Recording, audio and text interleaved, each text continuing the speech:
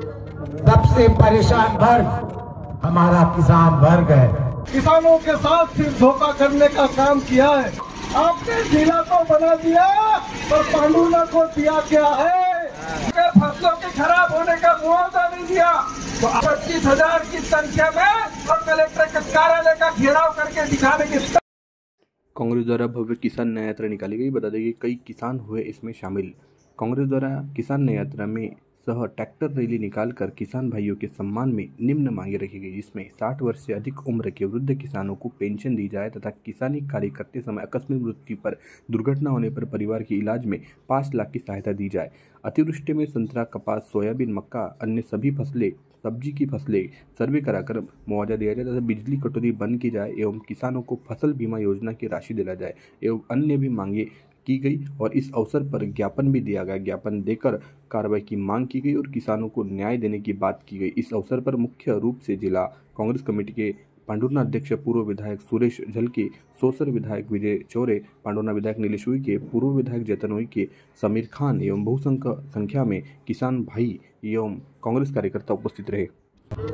सबसे परेशान वर्ग हमारा किसान वर्ग है और आज इस बारिश में कांग्रेस पार्टी ने इस यात्रा निकाली। मैं अपने किसान भाइयों को धन्यवाद देना चाहता हूँ, जो इतनी भारी संख्या में आज इस रैली में शामिल हुए।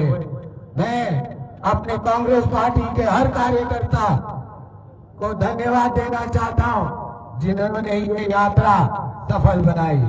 और मैं भारतीय जनता पार्टी शासन और प्रशासन को अंत में यही कहना चाहता हूँ, आज की जो रैली निकली है, ये केवल ट्रेलर है।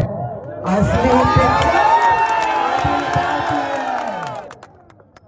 आप सब जानते हैं कि इस आंदोलन की या इस यात्रा की आवश्यकता क्यों पड़ी?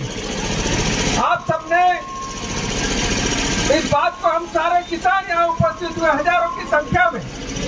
आज कपास को दस हज़ार रुपए का भाव चाहिए, सोयाबीन को सात हज़ार का भाव चाहिए, आज हमारे मक्के को तीन हज़ार का भाव चाहिए, आज गेहूँ को तीन हज़ार का भाव चाहिए, और भी अन्य फ़सलें, मूंगफली जितने संतरा है।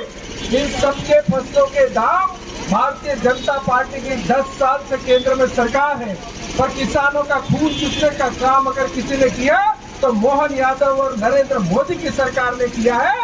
इस बात को किसान आज ललकार करके कलेक्टर कार्यालय के सामने जवाब देने के लिए आए हैं। साथियों, हमारे आदरणीय कमलनाथ जी और नकुलनाथ जी छिंदवाड़ा में इसी प्रकार की एक विशाल रैली आयोजित कर रहे हैं। वो भी वहाँ किसानों की लड़ाई लड़ रहे हैं। और आप सब लोग नया जिला बनने के कारण ये पांडुरना यहाँ पर हम सौसर और पांडुरना के दोनों विधायक और कांग्रेस के तमाम कार्यकर्ता और किसान साथियों ने इस आंदोलन को एक जंगी आंदोलन के रूप में बदलने में हमें कोई समय नहीं लगता।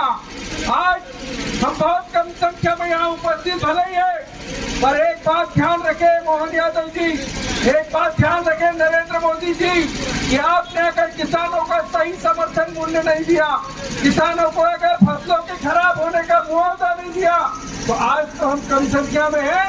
इसके बाद बीस, पच्चीस हज़ार की संख्या में और कलेक्टर कार्यालय का घेराव करके दिखाने की ताकत भी कांग्रेस और किसान रखता है। सरकार से, प्रशासन से सर्वे के लिए मांग किया उचित मुआवजे के लिए मांग किया, पर प्रदेश की और देश की भारतीय जनता पार्टी की सरकार ने किसानों के साथ सिर्फ़ धोखा करने का काम किया है, अन्याय करने का काम किया है। आज आप देख रहे हैं हमारे किसान भाई, किस तरह परेशान है।